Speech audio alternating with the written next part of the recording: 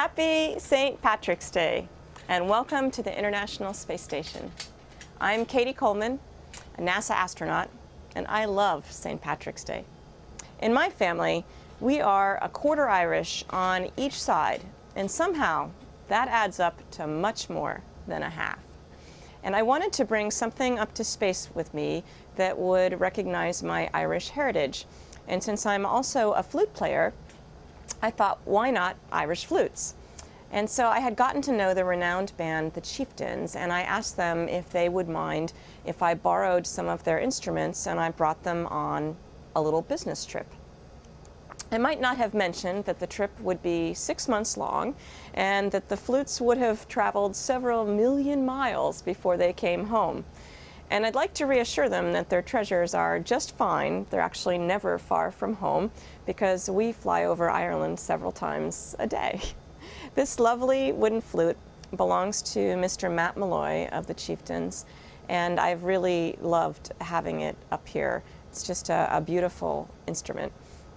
And here in my pocket is a tin whistle from Paddy Moloney.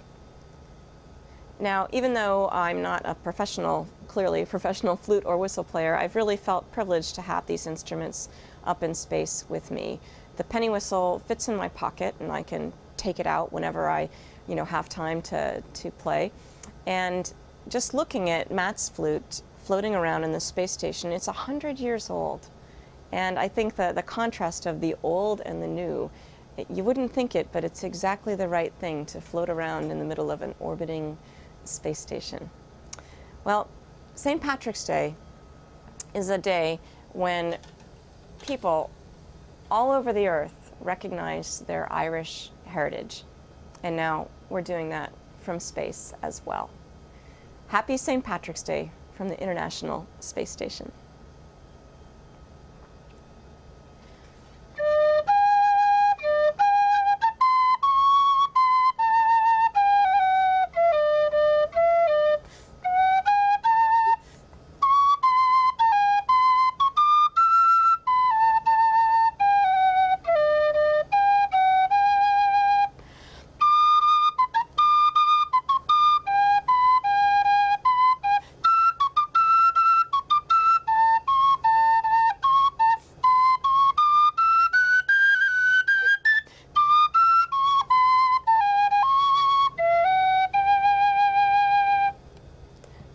Happy St. Patrick's Day.